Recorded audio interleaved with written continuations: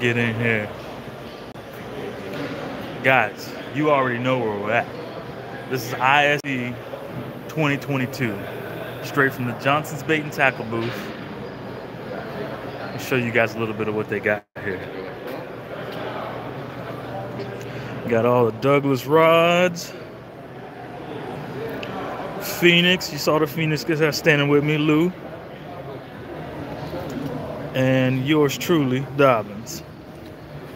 But we brought all the latest and greatest stuff. So if you're looking for swim baits, we got them.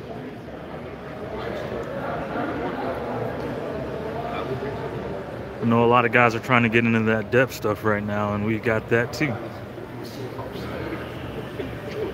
One of the big ones on the market right now that a lot of guys are been looking for are these cover scats.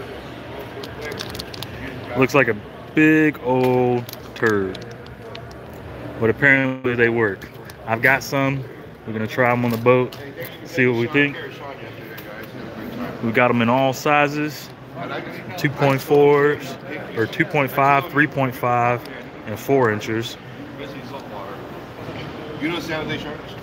These bull flats right here, these things are solid. I throw these on a swing head.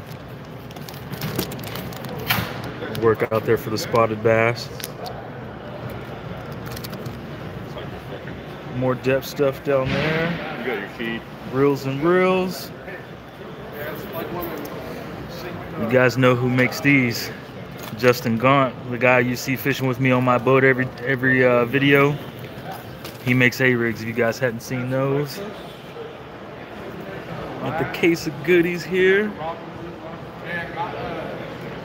I'm gonna need one of you guys to come by and pick this thing up. We've got, got three of these in the shop right now. So some of you swim bait guys, come come grab some. Got a code name Bass. You know, that's a members only special right there. So you guys have been looking for one of those, we've got them.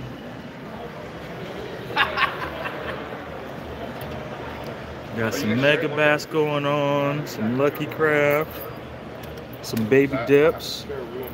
Got all the jackhammers. And you know that fire crawl was one that flew off the shelves when that come in.